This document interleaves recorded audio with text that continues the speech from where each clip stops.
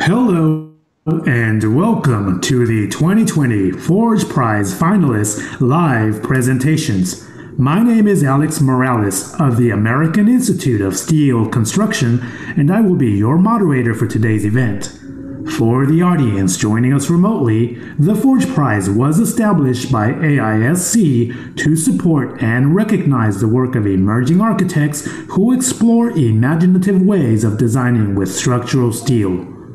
Over the past year, the three finalists that you're about to meet have worked with expert minds in the fields of steel fabrication, design, and construction to bring you provocative visions in steel for our buildings of the future. These finalists have also already received $10,000 each as part of being selected during phase one of this competition. And today, they will reveal their improved proposals for a chance to win an additional $10,000 and be recognized as the overall 2020 Forge Prize winner. As a reminder, at the end of these presentations, the audience will have a chance to vote for their favorite design, so we encourage you to participate and support your candidate. And helping us make the final selection for a second runner up, first runner up, and the grand prize winner will be our jury of esteemed judges. They will deliberate at the conclusion of today's event, and the winner will be announced tomorrow. Before we begin, I'd like to formally recognize the people and the partnerships that have worked with our designers to make this possible.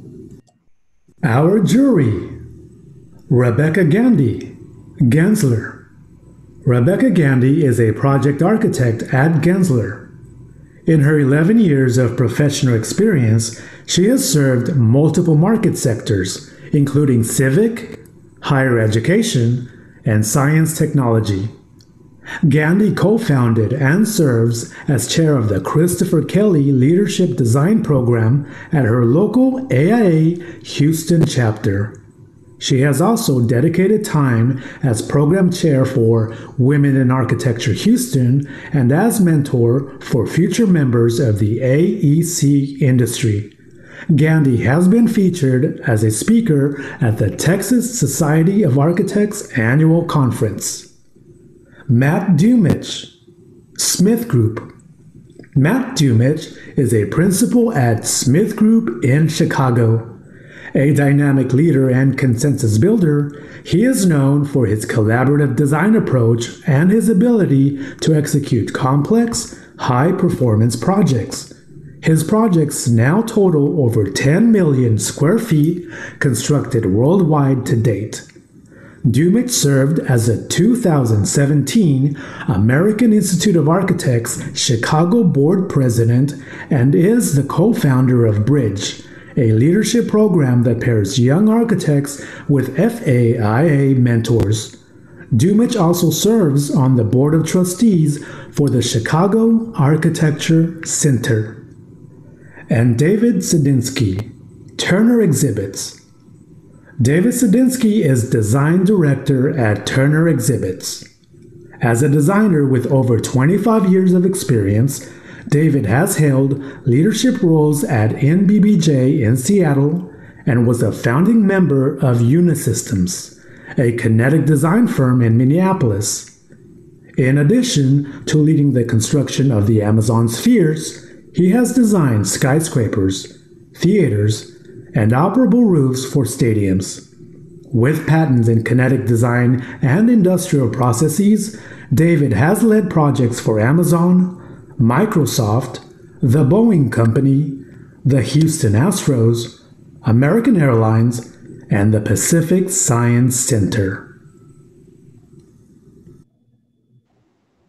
Our industry partners Jennifer Pasden of CastConnex, Darren Cook of SteelFab, and Glenn Tabolt of STS Steel. We will now have a quick word from our collaborating partners on their experience in working with our designers, beginning with Jennifer Pasden of CastConnex. Hi, Jennifer. Hello. You can hear me all right? We hear you perfectly. Thank you so Great. much. Um, my name is Jennifer Pasden. I'm the Vice President of CastConnex, and I'm talking to you from uh, my home office here in New York City. Uh, CastConnex is the industry leader in the architectural and structural use of cast steel components in the design and construction of building and bridge structures. Um, we are structural engineers who specialize in the design and supply of structural cast steel connections for buildings, bridges, and other structures. By leveraging the free-form capabilities of cast steel manufacturing process, we're able to simplify the design and enhance the performance of structures. So we work directly with architects and engineers in, in the same way that I've sort of been providing some consulting for Forge Prize um, to enable designers to use cast steel connections in projects. And we also work directly with steel fabricators and contractors are our customers and work with our products. Our products include pre-engineered connectors that are available off the shelf, and we also offer design build services. I've enjoyed working, uh, supporting the Forge Prize for the second time uh, this year. And uh, Ilgar's design, which you'll see shortly, uh, makes use of cast steel nodes to simplify the fabrication and modularize the construction effort in his concept, um, which would save time and project delivery and also save uh, site work. Um, as you'll see, the use of the cast steel nodes in his project has also allowed for a very impressive aesthetic um, uh, achievement. I also want to say a special thanks to Tarana Hawk from CastConnex for for help in the casting design for Ilgar's uh, design, and also to Martin March from um, Thornton Tomasetti for sharing his expertise in curve detailing. Wonderful. We have Darren Cook on the line.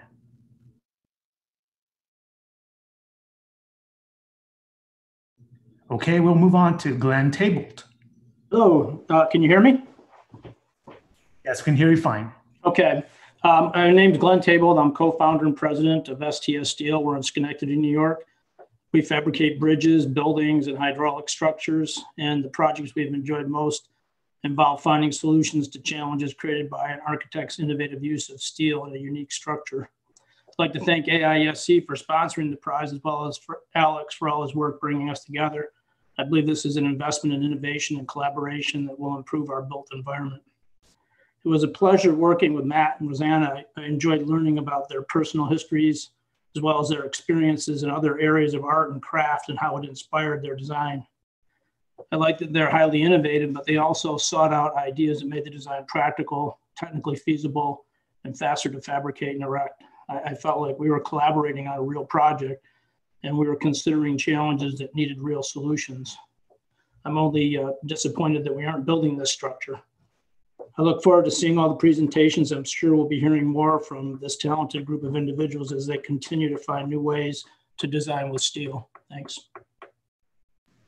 Wonderful. On behalf of AISC, we'd love to uh, congratulate and give our thanks to our industry partners for collaborating with our designers. Uh, thank you all so much.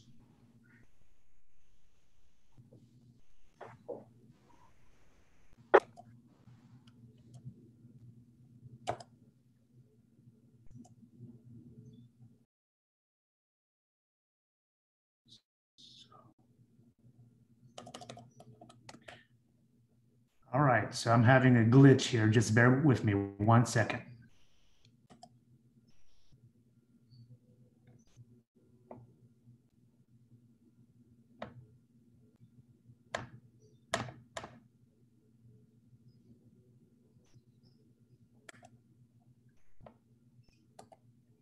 Sorry about that.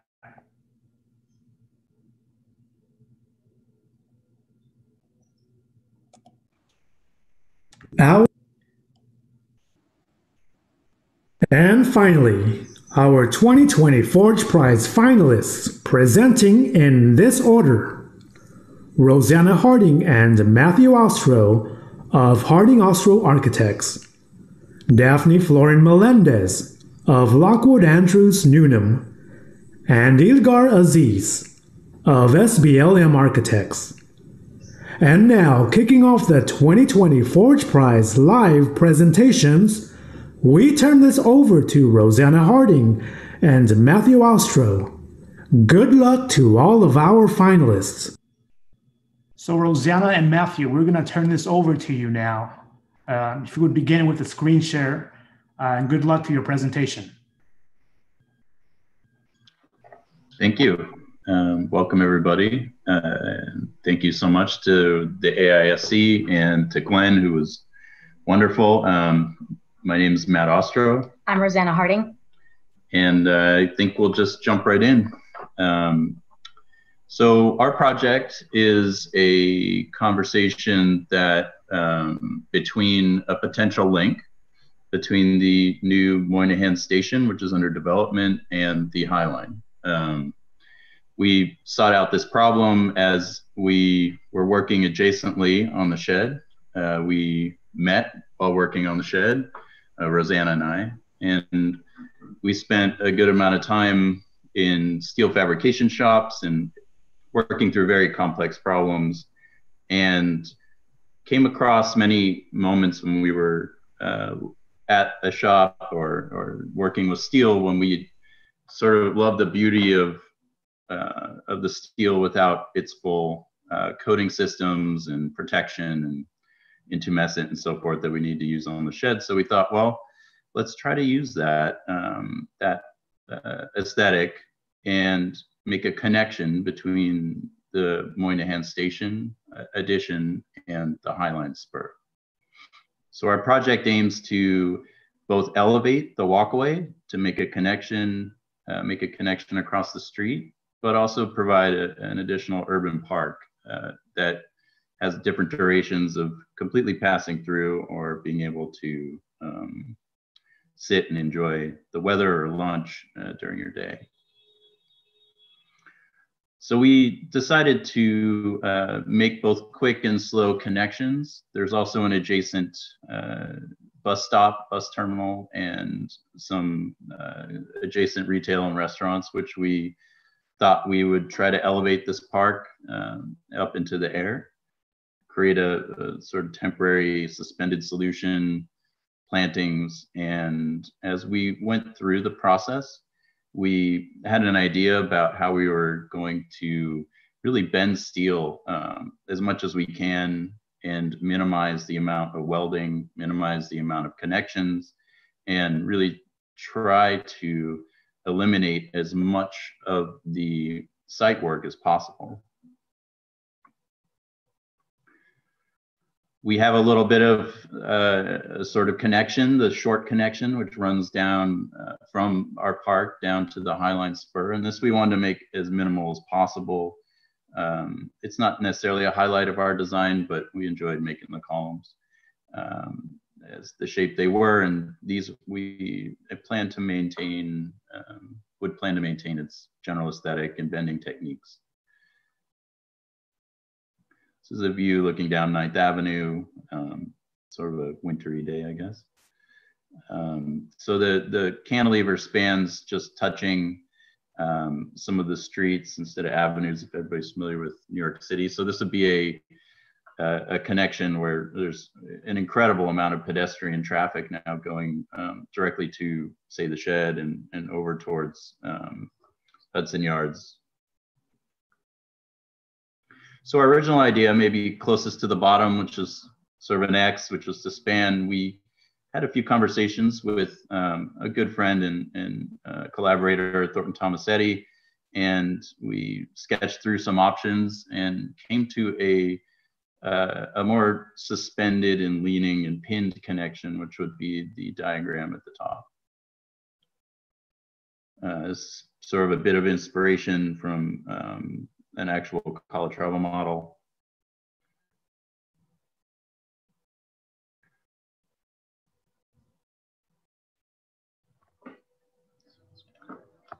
So we did a quick, uh, what we did is decided to take um, this project into a digital project, which I've we've done in various ways throughout. And so it's just a quick screen cap of the parametrics, which uh, have aided greatly in uh, uh, many projects that we've worked on in order to make actual um, planar steel, no warping, define every uh, center point, every edge. As we went through, we saw some opportunities, possibly pinning or hinging. Um, was our theory here. We discussed this with both Glenn and Thor Tomasetti and thought it was too adventurous potentially to achieve uh, at this level So we went with some steel rods, which uh, sort of balance all the pins, similar to the Calatrava model.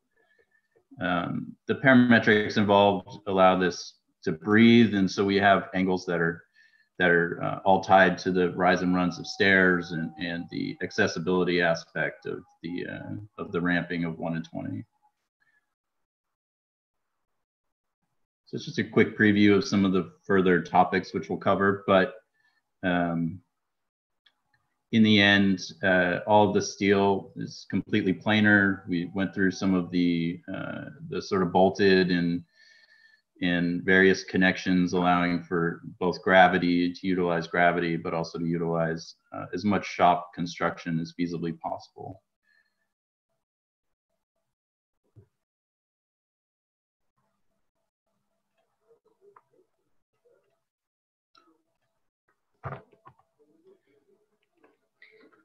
So this kind of outlines the, um, the basic uh, components of the project. Um, so in phase two, we really sort of focused on um, the, the structure, particularly at the center, um, and really uh, paying attention to those minimal touchdown points um, as to minimize the amount of site work. So we kind of begin with the um, eight center columns, which uh, then lead into the primary trusses um, and the cables that uh, connect those two wings. Um, these are the first sort of sets of ladder components, um, which we'll dive into further uh, momentarily. And then sort of lastly, the, the plates at the center, the stairs, and the kind of final wing at the end.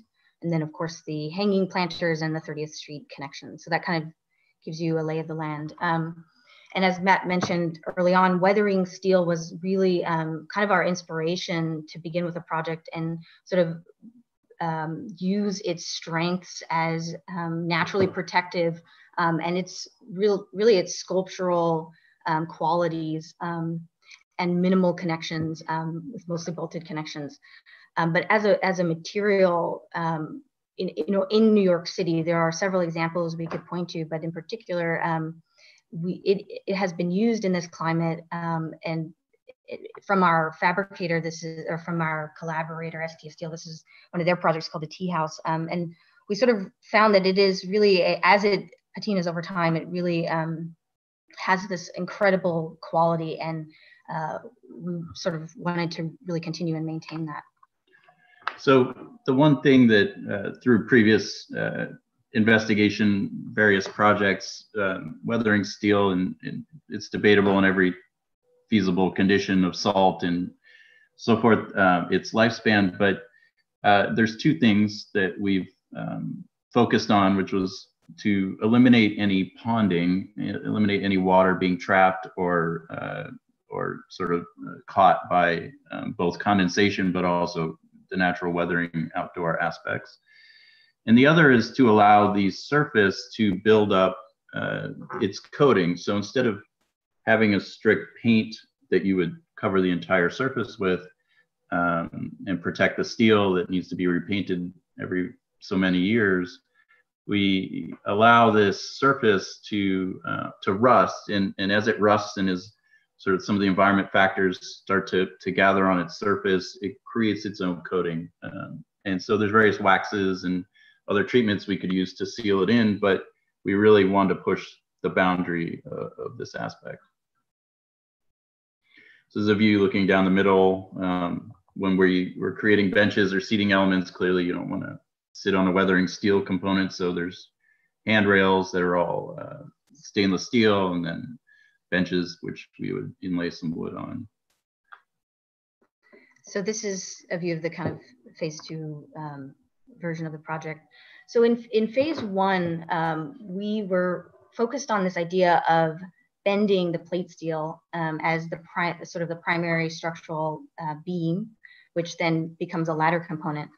Um, the the idea with the sort of key concept for this was really primarily about the link between a fabrication technique and an aesthetic, and that the final the final visible element was in fact the um, the way that it was made as we moved into phase two, so this was kind of our um, sort of original phase one cross section. As we moved into phase two and started our collaboration with Glenn at STS Steel, um, we started to get into the realities of what that really means when you're bending really long stretches of steel. And as you can see in, in the image, the real issue it comes down to is that it sort of limits the thickness of the plate steel um, in order to achieve that um, bending, that that sort of you know V section, um, and the angle as well. So the the sketch on the left is coming from STS Steel, where um, you know we, we, were we were very interested in, in um, how do we sort of maintain the V, the overall V shape. Um, and on the left is a proposal for a kind of nose cone. You can see a thinner steel section and a wider steel section. But in the end, we started to think that that, that these ideas, and there are a few others um, here, was a, um, a, sort of a three-inch rod to achieve that round bottom edge. And what we started to um, realize is that it the, it's not so much about the specific act of bending, it's mostly about this idea that the technique is the final visible thing. So we started looking into um, other ways we could potentially um, create these sections. We looked at, you know, pre-tensioning or um, flanges and clamping, even bending the section on the top end. And as we moved through um, in our collaboration, we, we sort of zeroed in on this notion that perhaps there could actually be a gap at the bottom of the beam, which would be held in place by a key fastener. Um, and that fastener is a kind of really unique to the project as a um, sort of clipping solution that would hold that beam and that you would have this amazing moment of, um, of a kind of uh, bottom gap. Um, and since the beam is welded at the intersection of the ladders, you then have this sort of flexibility at the bottom edge to sort of open that edge. Um, and so the drawing on the left is, you know, our, our, initial sketch and the drawing on the right is coming from STS Steel where they're sort of really sort of tuning in what that um, fastener key might be like. Um, and a few other iterations we went through with, with STS Steel. So ultimately, we kind of landed on this um, uh, a kind of wingtip um, fastener key that uh, would slot into pre-drilled um, slots and then rotate, and that rotating action would sort of lock it into place. And through this, we sort of had these conversations with our um, our contact at Thornton Tomasetti, and and we started to think about how these beams are actually sort of performing, and we're kind of making the assumption that you know some of the loading is really um, it, it, varies along the bottom edge of that beam. So sometimes it's pulling away, sometimes it's compressing, but that this seems to really kind of be a, a both um, structural and a and an aesthetic um, idea that could be feasible. We're sort of maintaining the notion of the slice the splice plates um, between the ladders as being the really the best um, the the uh, the best solution to to get the um, the speed of erection, but also maintain the um, the, the, aesthetic. Um, so in terms of our phase two development, the center of the bridge, the kind of moment where the public both circulates up through, but also also the structural hinge point um, is, is really key to our development in this phase. Um, so the drawing here is describing that condition of these primary trusses that are the kind of wings that the, um, the tension cable uh, connects between. So the center, which we found really exciting that the structural idea at the center could be the most sort of um, uh, open space in a way. So where it's doing a lot of the structural work, you use the thinnest elements. Um, so it's kind of an inversion of what you would expect, which kind of makes a, for a very exciting structure. And then of course the um, concrete pile caps and the way that the columns uh, enter the site, those are really the, other than the elevator, those are the only eight touchdown points for the project. Um, and then of course, as Matt mentioned, these um, the, the different types of connections that we're dealing with. So the center, as I just mentioned, the tension cables are key to tying together those pinned columns. And then the, the key splice plates uh, are the field um, connections as, and then the sort of the shop welding throughout. The goal so, being just a minimal quantity of shoring, um, which we're fully aware, but the the cranes, you know, wouldn't necessarily need to be permanent. They could just be uh, sort of wheel driven cranes locally brought in and brought out. That's right.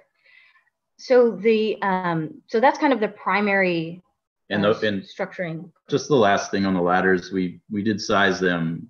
Uh, you know, we've had some experience trying to get very heavy and long things into New York City. You know, across the GW and, and down 10th Avenue. So, um, so our our design took into account those those limitations um, with lowboy trucks and so forth. Right, and then the, the sort of secondary component to this is, are the hanging planters, um, which were the sort of the next major challenge in phase two, which is how to really create that shape, which is a square blending into a, um, a sphere. Um, and this was sort of our initial drawing. And the, the ideas that were always stemming from this notion of having a really visible handcrafted element as an opposition to the weathering steel, which is very um, sort of sharp and, and linear. And these elements as being a relief from that, being something soft, something that you can clearly see that the hand, it was made um, by hand. Um, and then, of course, the fact that they are hanging in tension and how do we leverage that uh, structural idea with the fabrication component to this. So we sort of worked through um, several iterations of how we might begin to structure these these hanging baskets. And we kind of zeroed in on wanting to use a um, an element that was in in tension like the center. So you start to really create a net but then layering in um, stainless steel as the hammered component that gets placed into that um, that mold shape.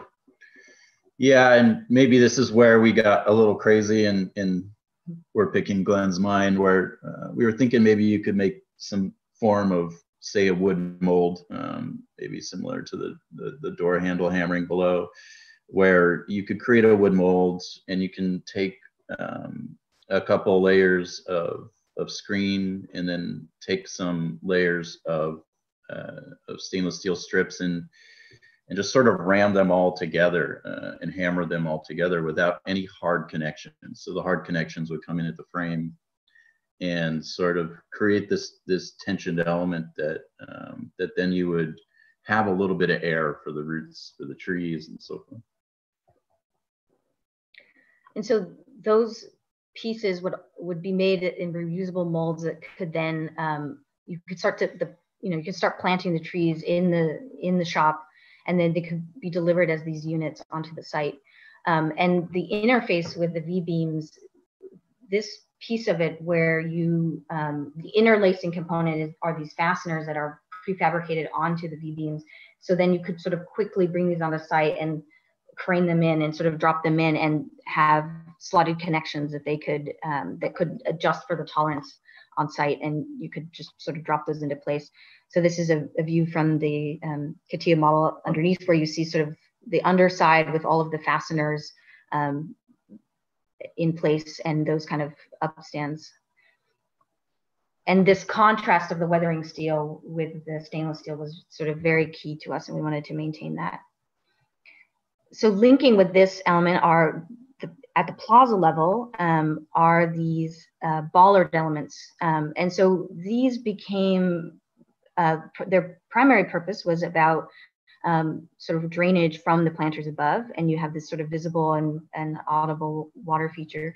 But also, um, we wanted to kind of make these elements a little more playful and more interactive with the plaza and with the street life. So we started to think about how these bollards not only could be a drainage element, but also a um, leaning bench um, and how they could also become a light feature.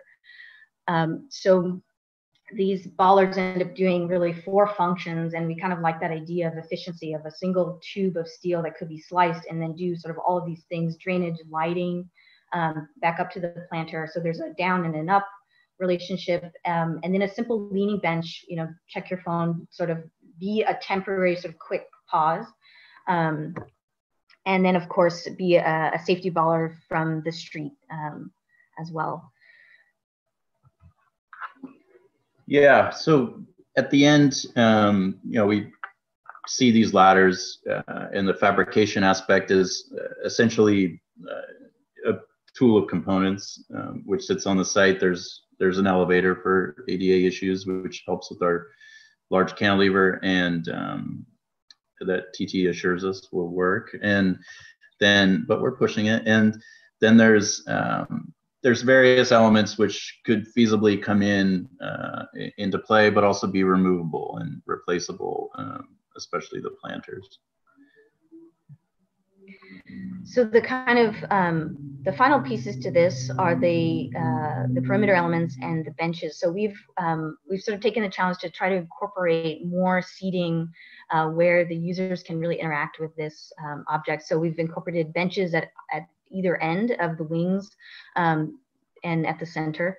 So at the very ends, we um, these are these kind of bent steel uh, plates that interact with the guardrail. And so we've um, sort of transitioned away from a glass guardrail into a, a mesh so that we can have um, the views through um, and uh, create that view back to the to the um, to the park. And of course, the coating on these benches would be would have a wax coating so that it um, there you could physically sit without issues with the weathering steel. Um, and this is kind of the more typical edge guardrail condition. Um, and you get a, a sense of yeah. that. It's also our, night. our night lighting. So we're, we're wrapping up here. This is our sort of our last two slides. So this is the view um, from that plaza space. And finally, um, this is the view back down 30th Street and the kind of experience of the project at night, um, sort of a new iconic public space on 9th Avenue. Thank you. That's the end. That's I think it. uh, it's jury comments now. Yeah. Brandon, we can open up the comments from the jury, please. Hi, uh, this is Rebecca. First of all, just wanted to say overall, really great concept and uh, beautiful delivery as far as graphics. Um, I did have one quick question. The existing site, um, does nothing currently exist on the site right now? Right. Uh, this is a bit of a response to um, to a problem that's been kicking around various um, various places. But yes, the the site right now it's a funny site where uh, where up on 9th Avenue uh, and down there's a construction site actually just south of this where they're adding uh, sidewalks specifically for sort of brutal building, and then uh, there's a there's a desire to sort of add some protection for this bus station is right now these buses line up. Um, there's previously a, a, lot of construct. This was a um, an area where they were loading and staging for a lot of Hudson Yards. So we're essentially widening the sidewalk, which is something that is, um, you know, a common theme in city planning to create wider pedestrian zones. Um, so Ninth Avenue would lose a lane, um, but it would gain this sort of key commuter it element. Loses. It loses yeah. on the next street. Yeah. That's right. Yeah. Great. Um, first, I also really appreciate how you use parametrics to really advance the design. Um, it's obvious that it really helped you um, go through the details with Glenn. And uh, I really like the link between the fabrication technique and aesthetics. Thank you. Um, it just it also it just helps make um, this project seem more real and possible. like I'm, I'm yeah. thinking, I mean, it's been a while since I've been in New York, but I was like, this yeah, this it'd be nice if this could happen. And then also, um, let me see. And I appreciate uh, the removal of the glass uh, from your previous uh, submission, phase one submission, and changing to the stainless steel mesh. It also helps uh, make it feel a little bit more breathable. Right. A little more open. Yeah, and I think it, it, we were we, we sort of took that comment um, from the jury and felt we agreed that that there's something really nice about linking in the stainless steel, with the planters, and the the um, those edge conditions, and really kind of allowing the, like you said, breathing, and so you have the vis- visible, the visual connection, um, but you're not behind this pane of glass. So that was that was you know very welcome critique yeah, and just dealing with different trade uh, unions in New York City, trying to keep it in the steel trade was also yeah, kind of a, yeah, yeah, uh, great added benefit. Uh, those are my comments.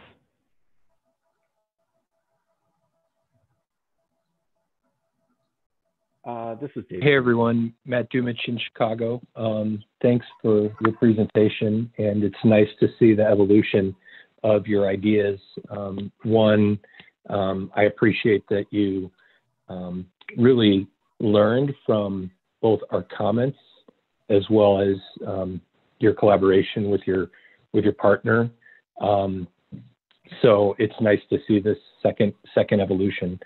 Um, real clear logic and story. Um, I appreciated that.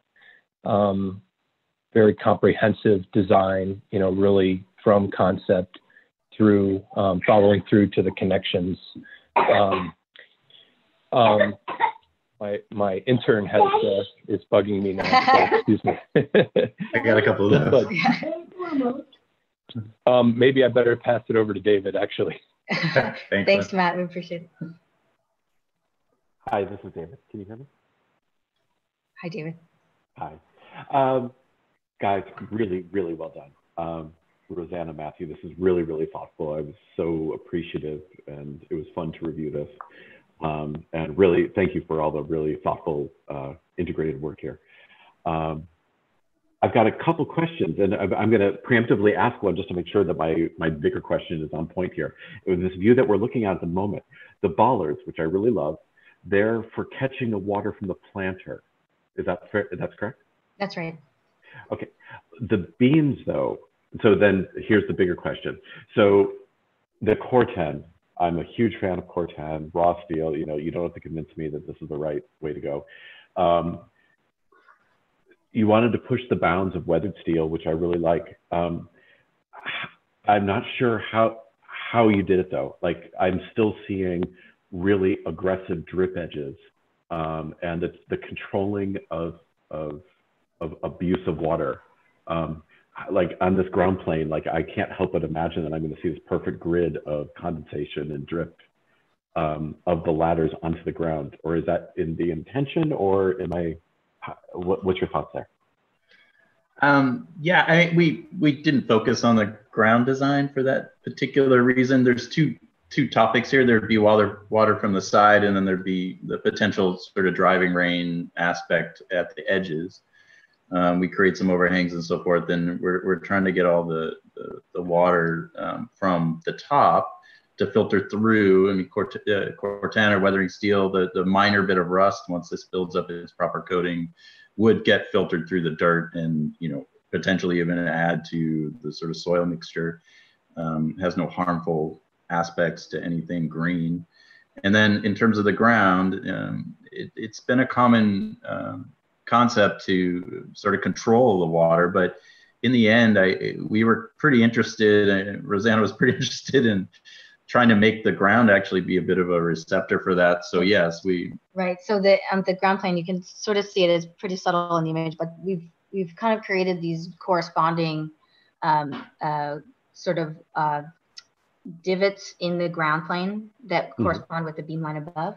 But something to clarify is that the top of this bridge is completely sealed from the underside. In other words, there's no rain sort of going through or between the gaps of the planters and the steel. So the the kind of um, as Matt said, it's really the driving rain from the side that you would anticipate, which is less of a dripping from the Corten itself. But in the in the in the condition that there is dripping, which would you know, be sort of more by where the stairs are because everything is sloping. So you imagine the coalescing and then the kind of converging towards the center. Um, so we've tried to incorporate some uh, grooves into the concrete, just like you would, you know, a concrete joint that would um, control cracking. That was kind of the goal is that if there is buildup um, of drainage, you, you might get discoloration in prescribed, uh, you know, etches or traces. Right. Okay. Um, and my other question, comment, exploration sort of thing is I'm, I'm a sucker for steel connections. And you, you put all this thought into all these great connections, but then you bury them and the world never gets to see them again. Uh, you said something during your presentation about you wanted to explore quick and slow connections. And I, can, can you talk about sort of those two things? Like, what does that mean? And like, and the choice to put thought into connections, but then not express them or to put them as part of the, uh, the design. Right. Well, so one thing I would say is that there's there's kind of a hierarchy of connections. So in terms of connections we want to express, the main connection is the bottom of these beams, as you see in this image, which um, is really about challenging the notion of you know a beam flange, and it's all it's really kind of inverting the paradigm on its head. So that was our primary goal was the sort of the underside of this V as being um, the main connection we, we uh, wanted to express. The splice plates, really, those are the ones which I assume those are the ones you're referring to when you say they're hidden. Um, those occur in really, um, a, as you can see in this image, a, a sort of a key dividing sort of zipper down the project, down the middle, and then one of the larger wings. So in terms of expressing those, we were less interested in and though that was sort of more about those are the the quickest as we'd say the quickest connections um, on site right? Uh, and and that it's really more about the fact that this the the ladder is a kind of prefabricated element um, and expressing those those connections.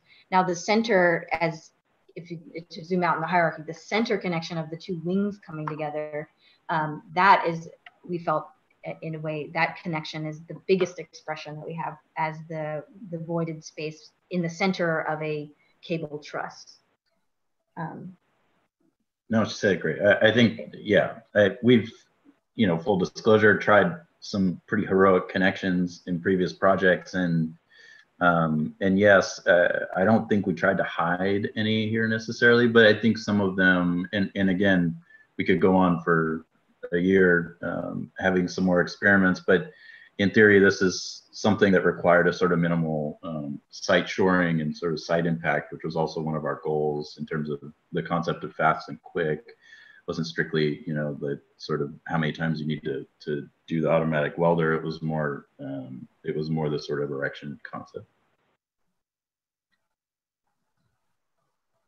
Well, I got to commend you. I think this is a really thoughtful, well well envisioned, well executed, well detailed uh, craft. Uh, the one, uh, uh, one thing I would encourage you, um, as, as you're looking at these varieties of scale and technique and assembly pieces, um, the smaller handcrafted, that's it, you know, something a little bit more intimate where the user is touching something that's a little bit, um, you know, besides the, just a stainless handrail. I would encourage you to kind of look at something a little bit more, sort of like the pedestals, frankly, the, the, the streetscape um, um, begin to get on that. Um, doing something. 10 minute Q&A is over. Okay. Okay, thank you. Thank you, everybody. We really um, appreciate your feedback. Okay, now we're going to turn it over to our next presenter, Daphne Florin of Lockwood Andrews Newnam. Daphne, if you would please share your, your screen.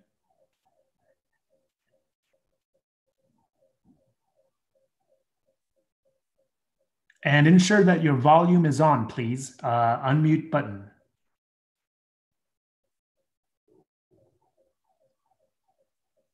Okay, great. I can see your screen, so it looks like um, you're good to go. Can you hear me?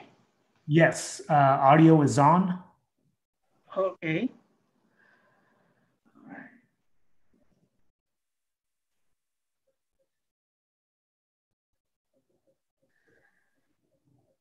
All right. Uh, my name is Daphne Floran Melendez. I'm a project architect with uh, Lockwood, Andrews, and Newnam. And I have been working uh, for more than 15 years now. And um, mainly, I have been doing mainly uh, government and corporate facilities, including higher education, schools, corporate interiors, mid-rise residential, and performing art facilities. The project that we are about to see now I'm presenting is, uh, is originally a, pro a project that I did at my master's, uh, during my master's in uh, FAMU, Tallahassee, Florida. And these sketches that are the ones that I sent first when, when I was submitting for the, for the first prize. Uh, they're showing this um, multi-purpose complex and in basic you couldn't see uh, hidden underneath the sketch of the unit what uh, the site actually looks like. So in basic, we were assigned to design uh, a project for this area that was a suburban uh, abandoned parking lot and a shopping center. And our group came up with the idea of doing a pedestrian facility instead of, you know, instead of uh, giving the car the main reason to be in there, we, we said the people were the actual reason that we were having these units. So each person has a, an idea and we were to explore the courtyard uh, scheme. So each student has to design a, a multi, multi housing unit, which is the what you are about to see. It's a more detailed uh, rendition of this uh, multi-purpose of housing, multi-family housing unit. When I started the project, I was thinking of doing these modules and um, they were about 20 by 30.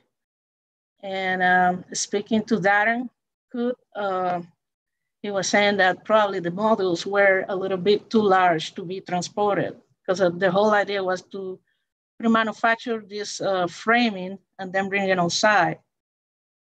So we, uh, we thought about in basically splitting the unit and uh, made some connections. So you will see that probably there's a double columns and and then kind of bolt them together and bolt bolt the connections together. So in basic, you will transport half of the of the frame to make that unit. Uh, maximum will be 14 feet uh, for a truck to not to be able to be scored. So these units are now 10 on the split. So it's about 20 feet total Then that they're 30, 30 feet long, so which is pretty easy to transport and then kind of put it together on site. Um, the next slide is showing uh, the same idea of this module. And you know, each housing unit will have probably more than one module because the module is about 600 square feet. So that would be like a, a really small studio. So it is understood that each, each unit will have at least two modules. And this particular one, uh, the, the interest in the design is to express the, the steel material. So that's why these particular units, they're not hiding any, any, any of the steel. And actually, we wanna, I wanna actually put, uh, express all the connections and express all the steel so that's why you had this very clear uh, curtain wall uh, hand, uh, connecting directly into the steel and then showing um, showing behind it the actual frame. Uh, we, of course, we need units that are more private because the other one is a little bit too exposed. So we had, uh, for the private areas of the house, we, we had units that had solid faces and in this case, the actual skin will come behind the frame. So it, the, the steel will be expressed at all time, even, even uh, sometimes it's just behind glass and you can see it through, and sometimes it's just really exposed to the outside um, to be able to see it.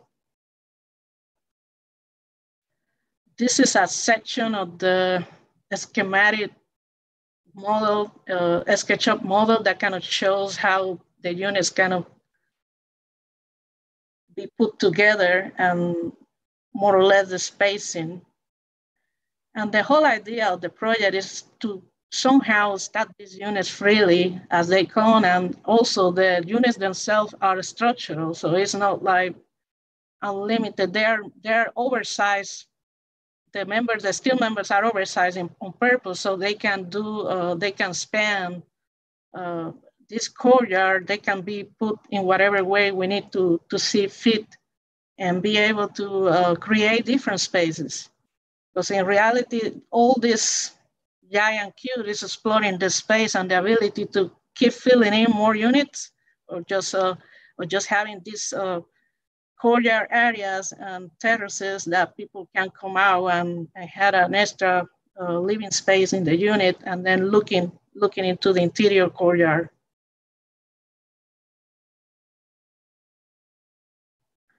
So this is a view of the interior courtyard, how, how the, you know, the residents will be able to interact with each other and then all this platform kind of play into the space.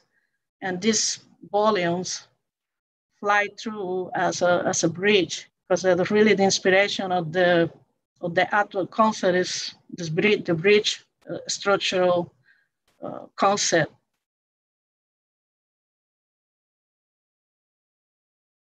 Um, at the corners, of course, we will have uh, uh, circumventular circulation units. So they will be more solid. These are not really uh, part of the, the, the, housing units themselves. So they will have service area at the four corners for elevators, stairs, and um, mechanical systems and all of that. So the units can be serviced.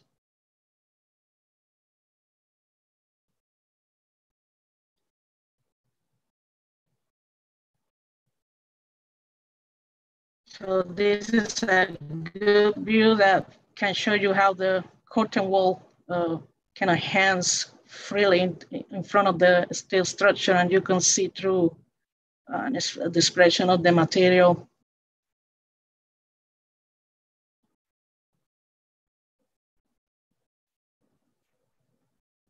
And as well, this is a, another good picture that you can see a, a closer look of that uh, seen through that unit and look into it and see the steel.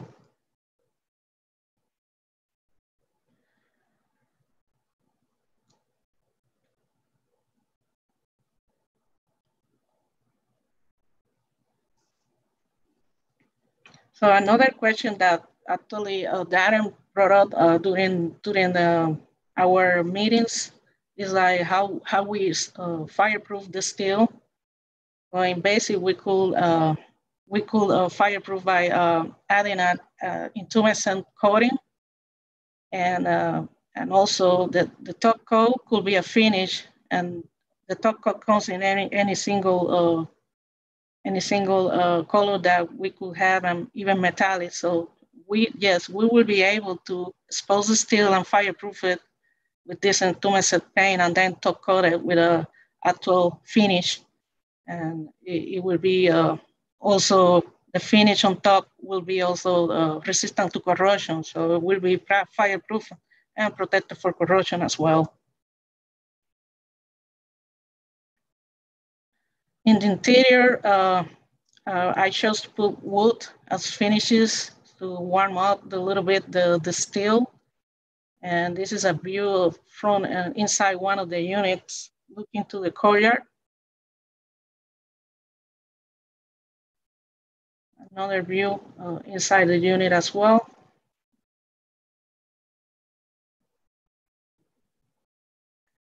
And, and this is about the, the whole presentation. The whole idea is just to actually expose the steel every time, every opportunity we have and uh, make it look beautiful.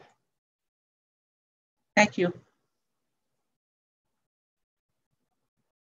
Thank you, Daphne. So we uh, technically have five minutes, or we're, we're ahead five minutes on this presentation, but we will go ahead and open it up to commentary from the jury. Uh, Daphne, thanks so much for your presentation. We'll turn it over now to our jury.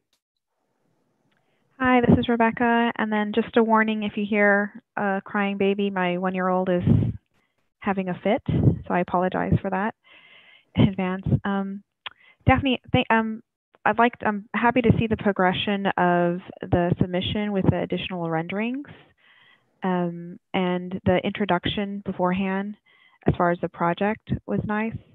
Um, I do have a couple of questions. I was hoping uh, to see a little bit more detail on, um, since this is a, people would be uh, multifamily housing, people would be living here, kind of wanted to see your ideas on the exterior envelope and insulation um, just how since people will be living here and they're going to have to um, any ideas or any would you like to describe a little bit of that?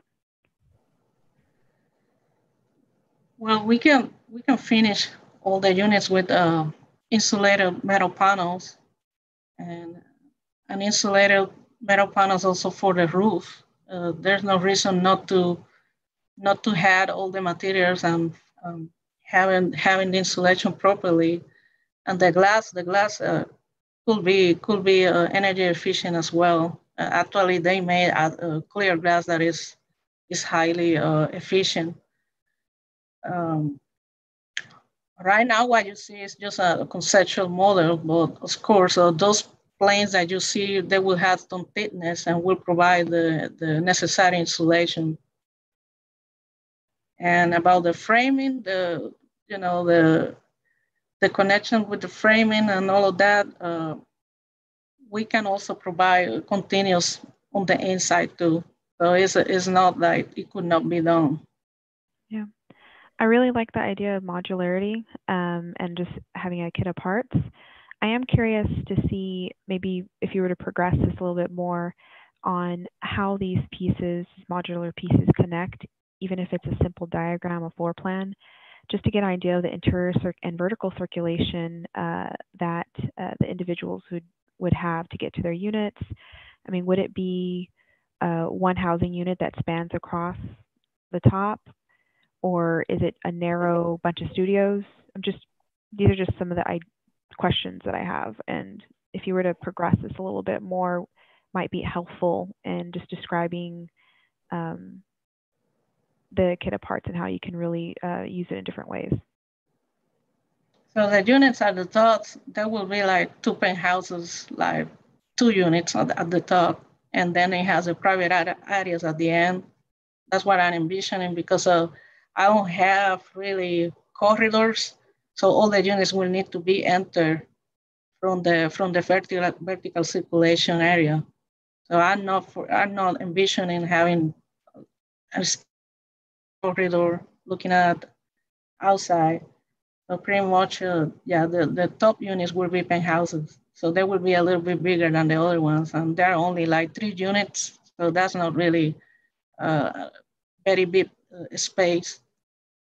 Uh, it's about 2,000 square feet plus the you know, if you look at the corners, you will see the, the enclosed area for a service. So, you know, and it's not not really big at all.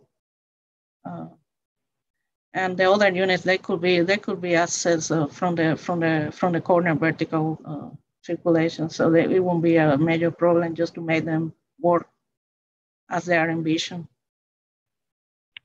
Great, thank you. Great, Matt, David, do you have any comments? I, this is David. I'm going to jump in here really quickly.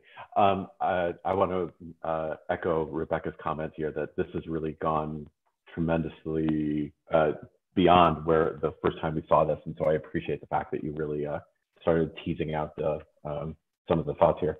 Um, your basic module, 10 by 14 of, I again, I'm a huge fan of modular design. Um, I, so I want to see the exploration of how do you, like how did you arrive at that as a as a module um, relative to to overland shipping sizes and how do these modules plug together like what how do you see these pieces like is it all pre-manufactured? And then how are they plugged together? Like where are the services and the plumbing and the electrical and the thermal envelope and the steel splices? And like how how do you can you talk a little bit about that?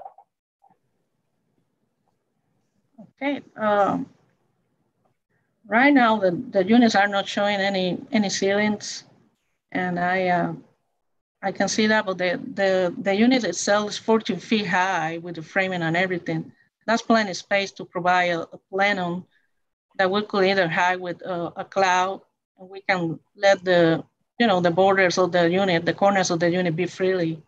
So it really doesn't need to be uh, uh, limited the exterior face. Uh, there's, there's things that we could do to hide the, the mechanical and the, there's plenty, plenty, it's almost five feet space. So residential is only nine feet high.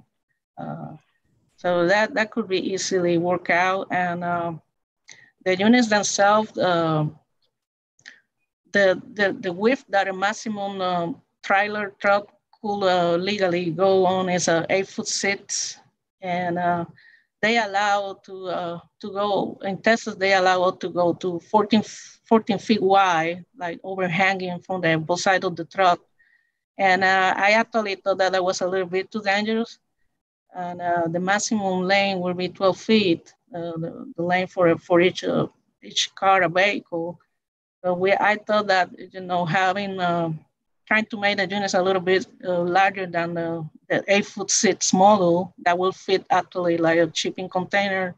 Was thinking probably uh, 10 will be reasonable uh, amount of width to be able to transport it. And the, the length is also like the, once the, the unit is put together, is 30 feet. So your average truck will be 48 and they, they come in 60 feet length. So actually you could, you could transport two of the modules uh, in the same way that they're going to be put together at the side. You can just, you know, kind of um, oh, so, to it. Yeah. Are these shipped on their side? So they're shipped on their side. What is it? So are they shipped on their side? That 14 feet, I'm trying to figure out which way's up. If it's 14 yeah. feet tall, how you ship it on its side? Yes, we, you could you could put it on a flatbed truck and and, and, and, and bring that in into the side. So the the, the okay. maximum height the maximum height for a, a for a low it will be um, 14 feet six. Actually, they're they are lower than what is allowed already.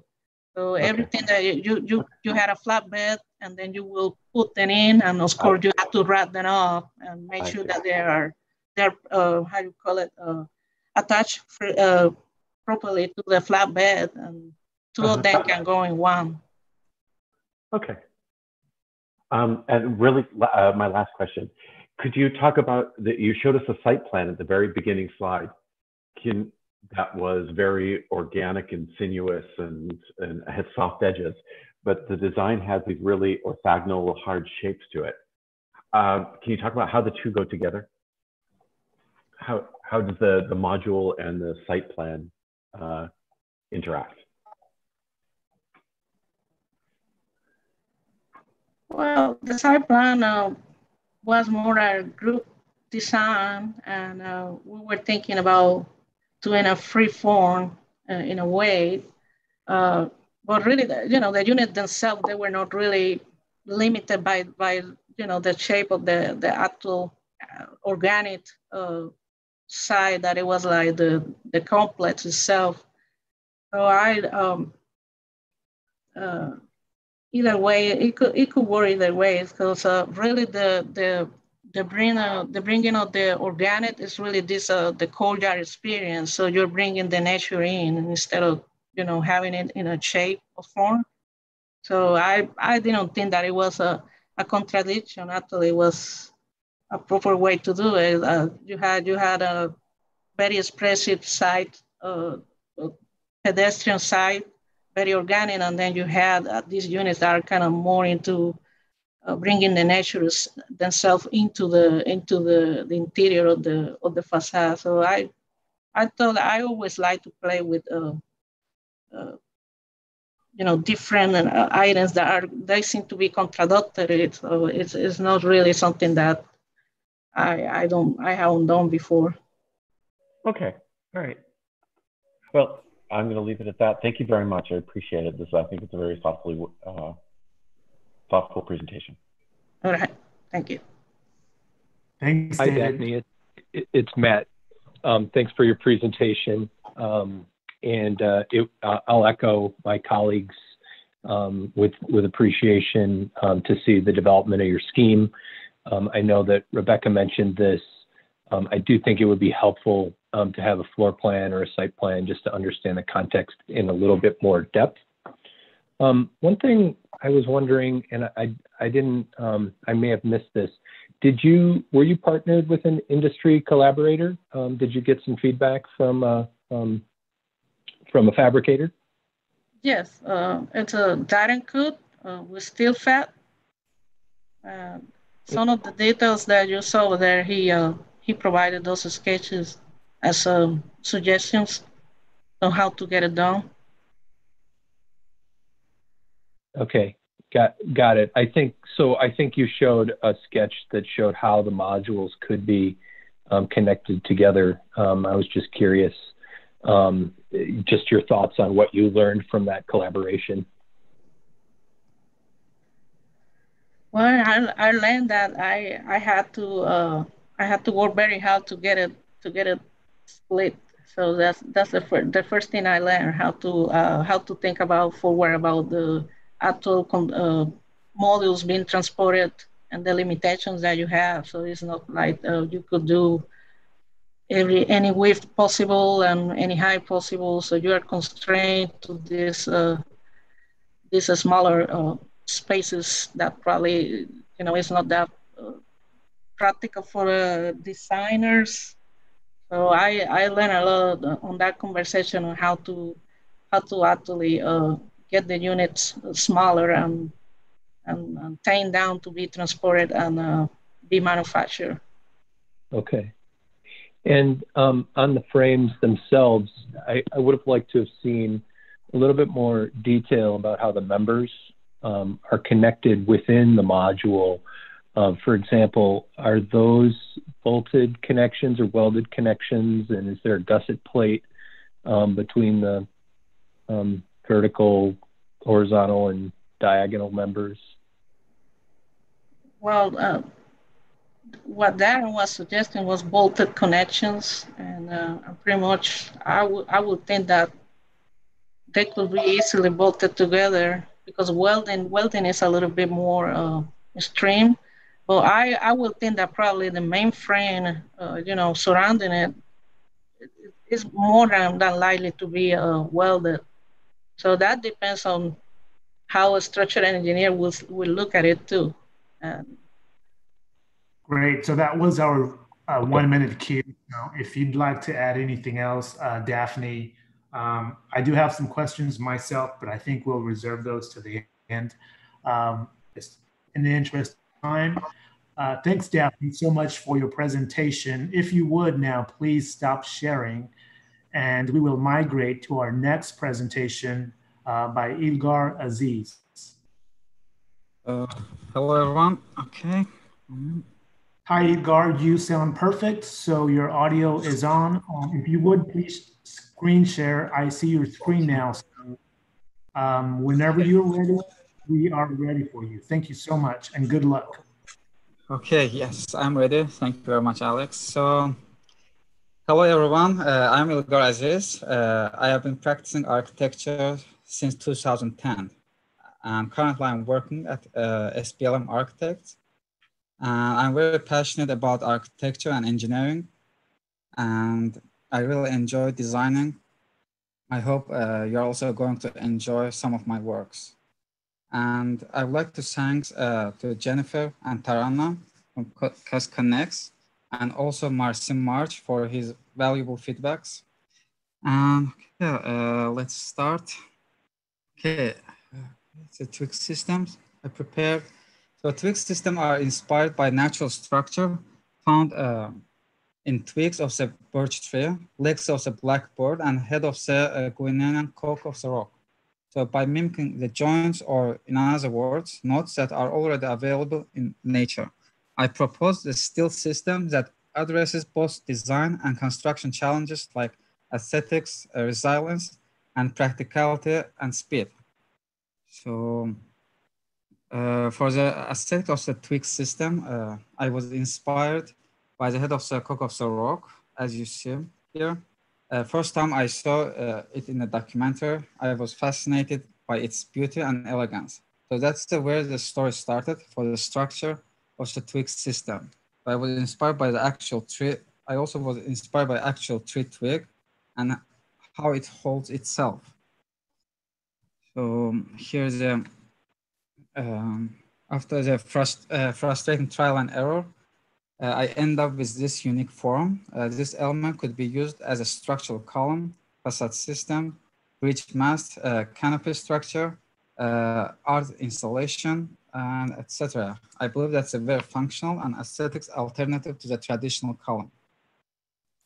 So, so basically, uh, what I offer is taking a traditional and conventional column uh, cutting two thirds from the top, uh, separating the top cuts, uh, and then cutting again from the uh, bottom, uh, separating again.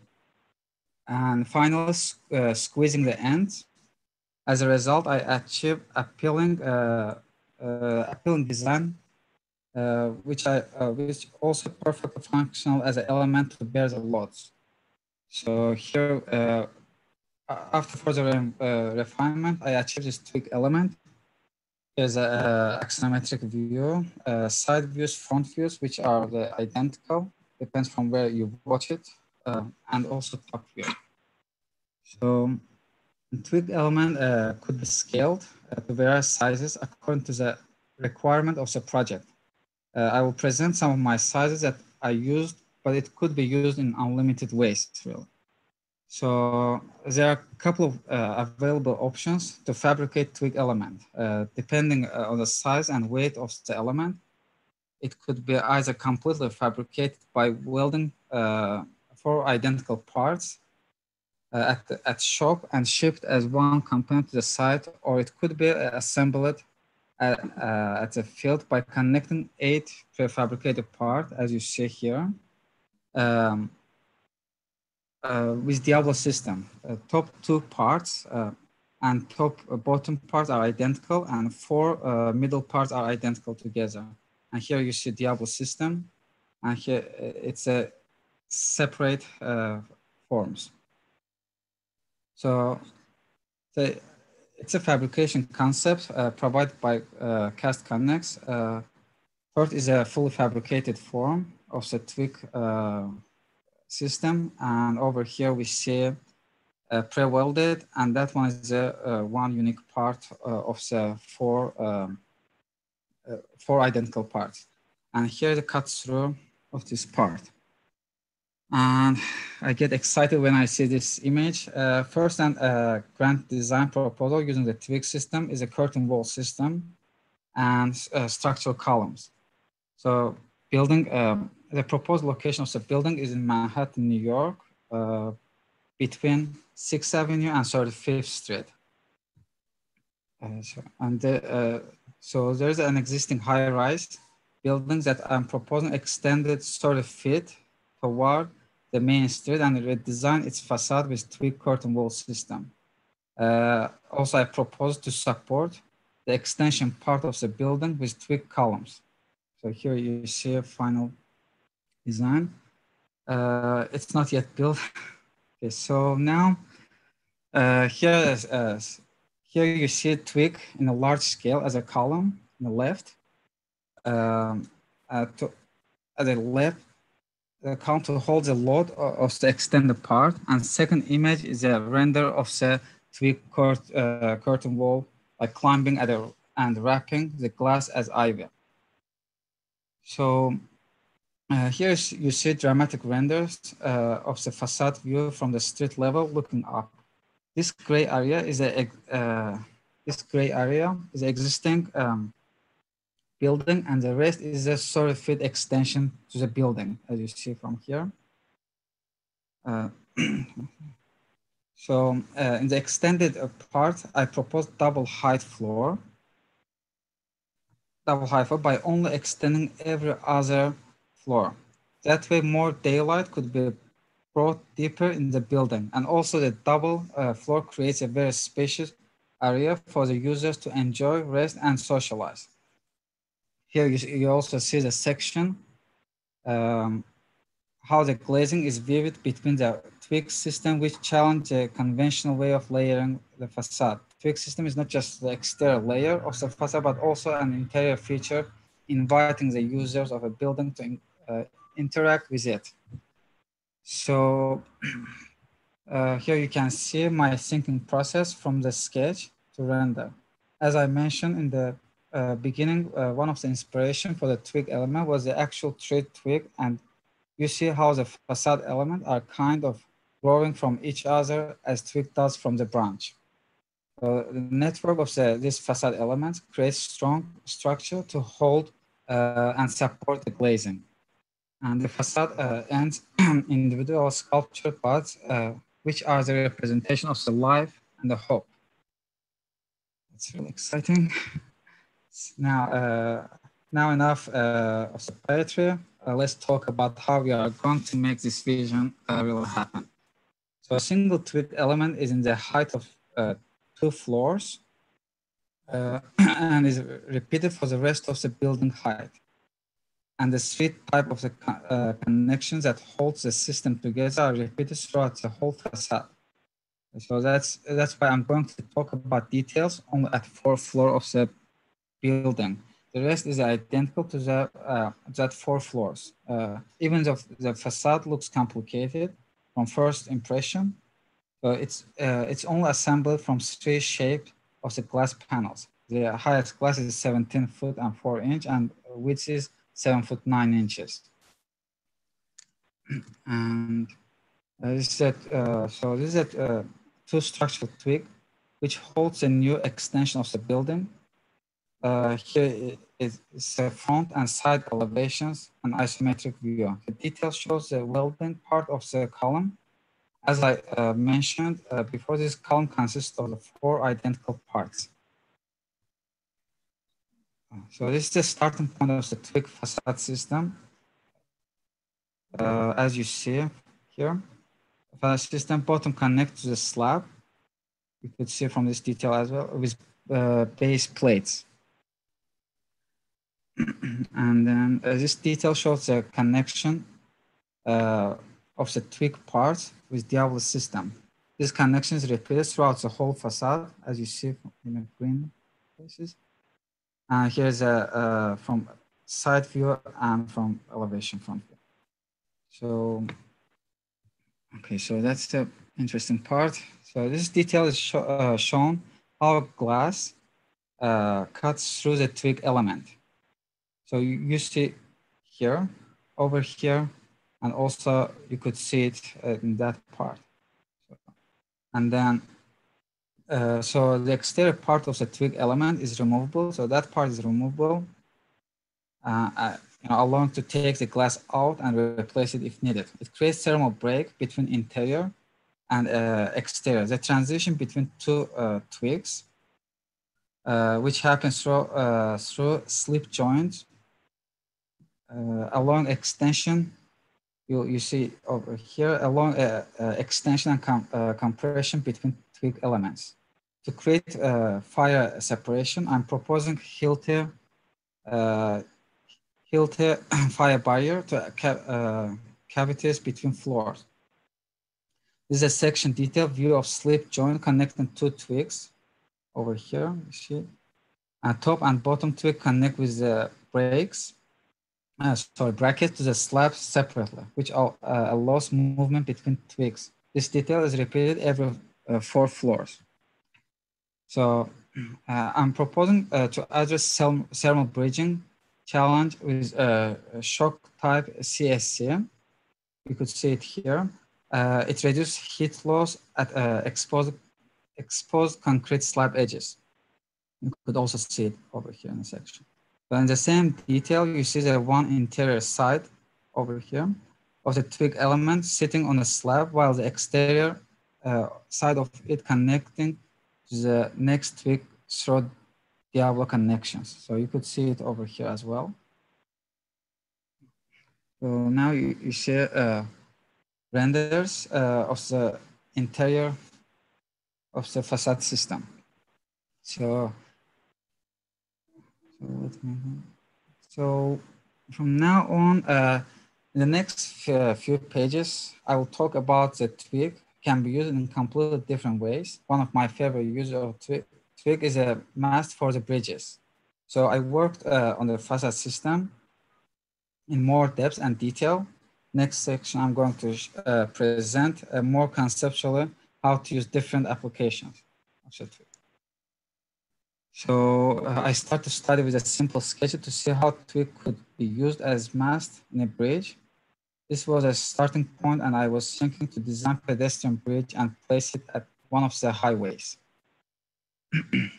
uh, however, uh, the idea is developed from the conventional pedestrian walkway into more ambitious and interactive form that could be an integral part of urban landscape in the beloved uh, neighborhood of uh, New York. The proposed site for the concept is again in New York. Here I propose three-way overpass, as you see, a Battery Park, Hudson River Greenway, and Financial District. So, uh, and finally, I ended up with this concept where I'm proposing to connect Bowling Green Park to Battery Park uh, uh, through the overpass. It's one of the uh, uh, densest area in the New York City due to popularity of the of it between New Yorkers and tourists. Uh, I observe myself most of the time there is a crowded traffic of people uh, from Broadway uh, coming down from Charging Bull, Bull uh, to Battery Park. Overpass that connects these two uh, popular destinations could make the flow smoother. The proposed site for the concept is again New York sitting near a bowling park uh, and charging Bull. So here it is. So, so what's the difference in this concept is that twig is placed on three legs instead of two legs. So you see the one leg, two, and third leg in the down. Uh, by doing that, I can achieve more stable structure and the fourth leg is playing the role of playing a pylon that supports full weight of the deck. Deck is connected to uh, pylon with cable stayed system. Deck 17 feet above the ground and its length is 420 feet and width is 8 feet. So that length allows to address the ADA requirement adequately. Uh, height of the pylon is 80 feet. In this design concept of the twig, uh, it's not just structural element, but also a public art piece to be adored. So now you, you see uh, the uh, top and side view of the twig uh, for the overpass. And here one of the uh, assembly the twig in the field. Because it's a large scale, it could be assembled and welded uh, from two different forms, four identical end parts and four identical middle parts. So here are some renders, uh, final renders. So you could see. And this one. So so now, okay, one more please. Uh, so I also designed a canopy by using a, a twig system. A design product which is uh, beach umbrellas that are supported with smaller and thinner version of the twigs. So you could see this amazing view and how twig used over here and shape. So Uh, it's a, me a mechanical adjustable umbrella that gives control of the shades to the users. Uh, here, Twig here function as the main supporting system. So you could see here I show the uh, skeleton of umbrella and how it could be fabricated. And uh, because it, it's a small scale user of Twig, it could be packed and shipped to the user and be assembled in the site see it. And here is the isometric views. Here are the side and front elevation of the umbrella. And as I mentioned, uh, uh, degree of the shade could be controlled, as you see here, by the user. So, and uh, this is an exposed isometric uh, isometric drawing of the series of the umbrella joined together. Uh, twigs are connected to the narrow shade long tubes with adjustable con connector that allows to change the degree of umbrella.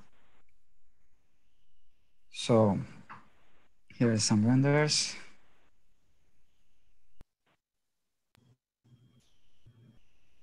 Got uh, four minutes. Okay, I'm almost done. so that's at the end. It's a Twig art installation. The so Twig can be adored as a public art installation because it's a dynamic and sculptural form. And there's no limitation on how to use a twig in constructing environment, really. The only limitation is the imagination. Thank you, everyone. I'm done. Wonderful. Thank you so much, Edgar. We really appreciate you participating this year. Um, now we will turn it over to the judges. Uh, let's begin again with Rebecca Gandy. Hi, yes, thank you very much. Um, I really love the elegant and sculptural approach that you brought uh, to the curtain wall. Um, I know you spent more time with that, so I, I, do appreciate that and seeing the different, uh, how you really put a lot of thought in the different pieces and how they come together.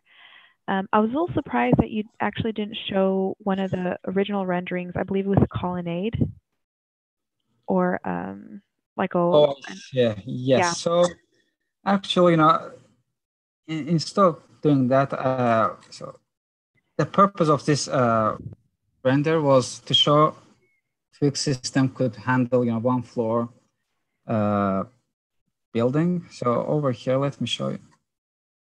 Okay, it's going to. So the reason why I didn't show it, it's only because I'm showing here how it holds uh, itself. One minute. Okay, it's always.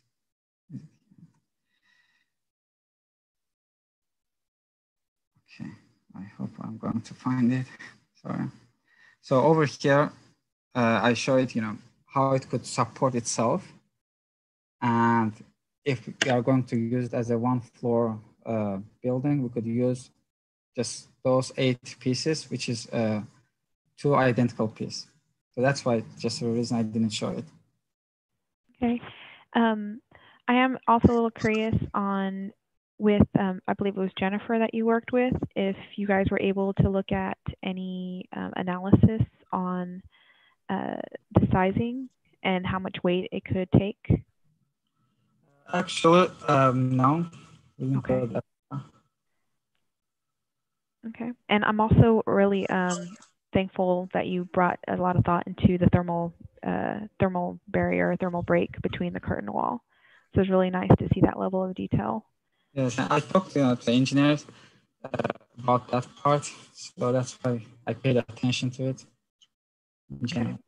And then part of it is also walking us through really your relationship with this twig shape, this form, and how it can be used with um, different approaches. That was appreciated. Thank you. Thank you, Rebecca. Uh, David, are you in the line? Uh, I'm going to jump in. Uh, oh God, this is really nice. I, I thought the the notion of, of challenging the column as a conventional straight shape was a very bold, risky, daring uh, challenge to take on, and I really commend you for uh, taking on such a big item.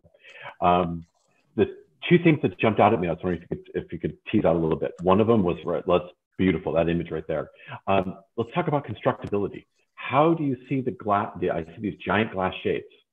Um, how are they being assembled into this? Like, what's the order of operations? Like, you know, put yourself in like the, the builder's shoe, like a, a piece of steel, a piece of glass, a piece of steel, a piece of glass, a deck of concrete. Uh, like, talk about how you put these pieces together. Okay, sure.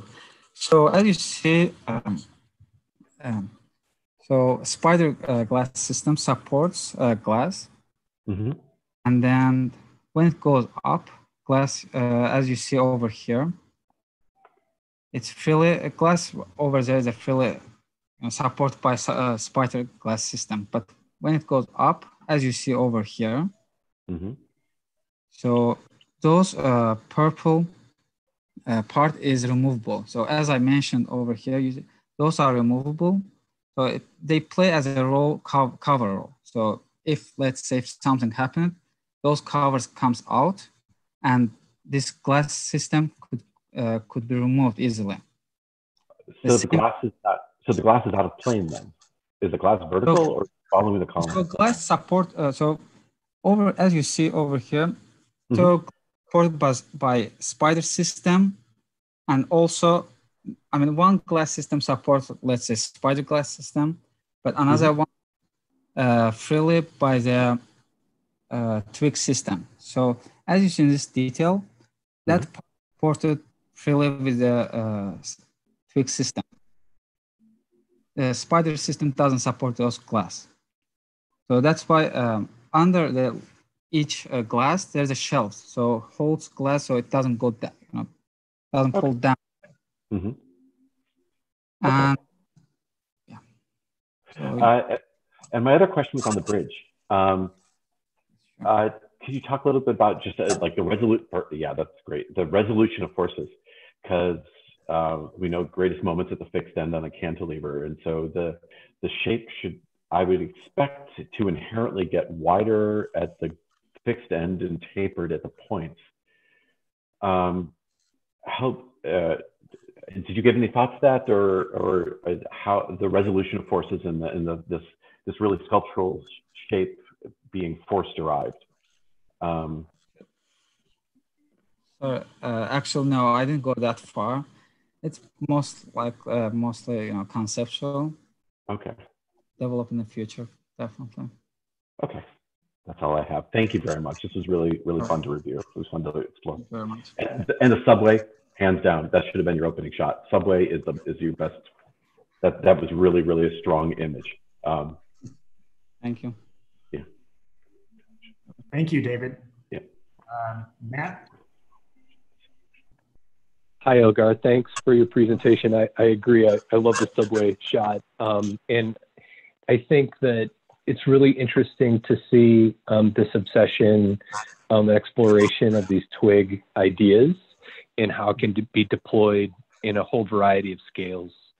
Um, and I appreciated that you gave us a little more detail on a building facade type of application um, um, which was really kind of fascinating because in addition to kind of breaking the column from um, you know uh, verticality, you're also creating this really rich depth um, that that's a really interesting place. So that that up view um, to see the twigs going in and out and the interplay um, between structure and enclosure is really quite a fascinating study. So thanks thanks for that. Um, did you, we, and, and also I, I, will commend you um, for a lot of additional resolution since the first time that we saw this. Um, it's a lot more clear um, as you walk through the presentation how um, some of the um, connections are intended to be made. Um, how did you arrive at the scale? It, it, was deceiving originally um, to look at this um, to see the scale because you basically have is it quadruple height spaces with a slab in between? That in, on this view i see you know an expressed slab at the bottom. Yeah th- this is a help the section is is i think a little more helpful to see. Um, so there's kind of three different conditions. There's a infill condition which your cursor is on there's a, um, a, bypassing condition in the middle, and then the building structure actually has another slab further further back inboard, right? Um, I'm just wondering, yeah, how you ended up on the dimensions and considerations for shipping um, these elements. So this all uh, so uh, one twig element is 28 floor high, and it's uh, and it consists of three parts which is uh, so over here, please. So base part, the bloom and middle, and then top part. So they are uh, about, uh, so bottom part is 10 feet high, uh, middle part is a eight, and top part also is a 10. So basically, you know, bottom and the top, they are identical to each other and middle four is identical to each other. So they are all together, let's say 10 foot. I mean, if you put uh, one twig uh, element together, it's uh, 10 foot wide and let's say a couple of feet wide, uh, 10 foot uh, long and a couple of feet wide. You know, if you put in a, let's say in a, uh, in a truck or so if it's, let's say, if height is uh, changes, scale is changes, so it could be uh, manufactured in a, a, shop or it could be brought uh, to the field as a separate part and welded together in the field. So, um, okay. Yes. Well, thank you. I enjoyed seeing you. Question. Did um, I answer your question? Uh, sorry. Uh, so did I answer your question or? You did. Yes, thank you. Yeah. Okay, thank you. Okay, uh, great. Um, Ilgar, this is Alex with AISC. I do have a question for you. So my question really was relating in terms of um, sort of a, tr trying to find a happy medium of scale um, in the proposed site. Obviously, this is a conceptual design competition, but um, in your proposal, um, what sort of challenges were you addressing when you were thinking about um, how these would be delivered to the job site and also the uh, sort of the scale of them as they relate to um, kind of the human scale, that, that aspect of that, those relationships. Would you please elaborate a little bit on how that process looked like on your end? So, uh, so basically, you know, when I uh, started to uh, design it, you know, I think, you know, it, height was 20 feet. uh, for the one floor. So I start to say, you know, how could I keep its uh, thin view? And also, uh, I also uh, addressed height to the floor ratio. So there are a couple of available options uh, to fabricate twig element, uh, depending on the size and weight of the element. It could be either completed, uh, fabricated by welding for identical parts, and uh, at, the, at the shop and shipped as one component to the site.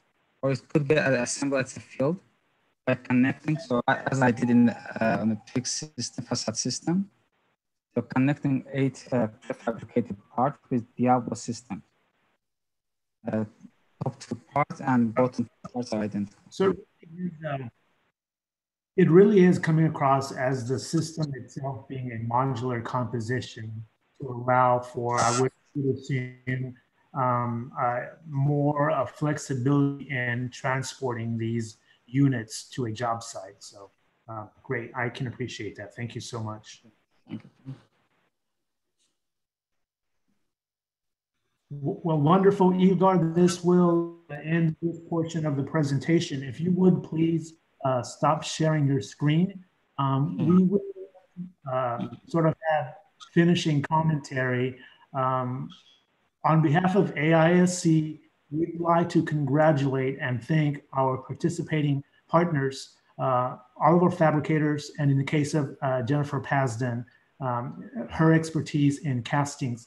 Uh, we'd like also like to give a big giant thanks to our jury, Rebecca Gandy, David Sadinsky, and Matt Dumich for guiding this along and giving our designers some feedback. And finally, of course, we'd love to thank our designers, Igor Aziz, Daphne Florin, Rosanna Harding, and Matthew Ostro for your visions in steel for the 2020 Forge Prize Conceptual Design Competition.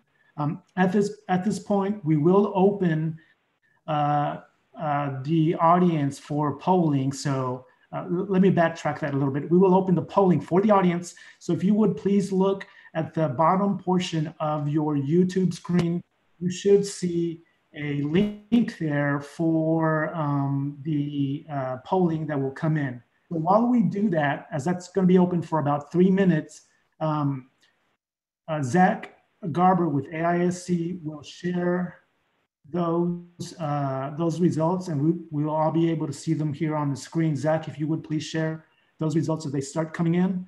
Um, as that happens, I'd like to open up the floor to a bit more commentary from um, our jury. Uh, anything that you'd like to add to the conversation um, from uh, the three finalists uh, for today's competition?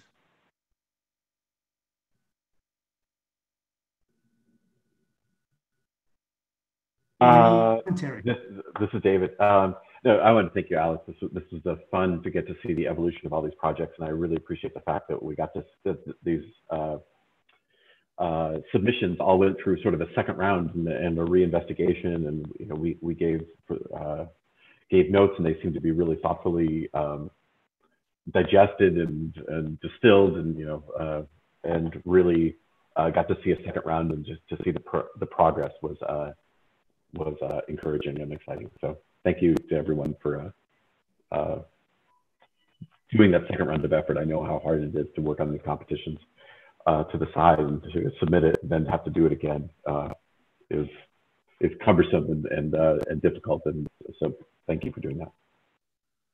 Thank you all so much. Any additional comments? Well, great. Um, we will uh, hold on just about one more minute and then we'll close the polling.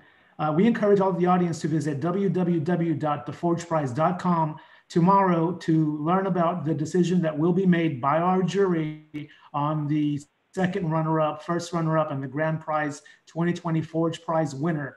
With that said, we'll uh, go ahead and, and uh, now close polling. Uh, if we could close polling, th these are about the results that we're probably going to get in about uh, the three minute mark that we had. So um, we will dismiss our three designers and we thank you all of our audience who joined us remotely for viewing the awesomeness, design, and inspiration brought to us by the three phenomenal Forge Prize finalists for the 2020 Forge Prize Design Competition. Um,